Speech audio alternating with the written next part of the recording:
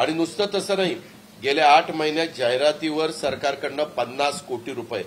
आणि मुंबई महानगरपालिकेकडनं आम्ही माहिती घेतली तर तिथनं सतरा कोटी रुपये जाहिरातीवर त्याच्यापेक्षा जास्त खर्च करण्यात आला.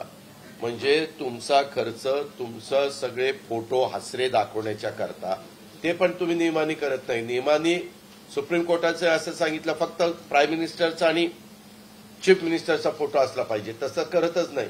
त्यांना पाहिजे ते फोटो ते देत आहेत आणि ह्या पद्धतीनं यांचं काम चाललं एसटी कर्मचाऱ्यांचा पगार होत नाहीये.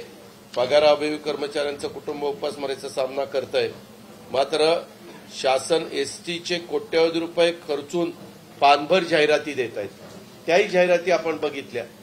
आणि जाहिराती देऊन एक वेगळ्या पद्धतीनं स्वतःचा टेंबा मिळवण्याचं काम ह्या लोकांचं चाललेलं आहे.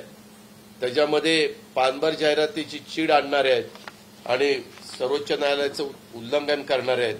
नेत्यांच्या वैयक्तिक प्रसिद्धीकरता करदात्यांच्या पैशातनं होत असलेली उधळपट्टीचा आम्ही सर्व विरोधी पक्ष तीव्र शब्दामध्ये निषेध करतोय.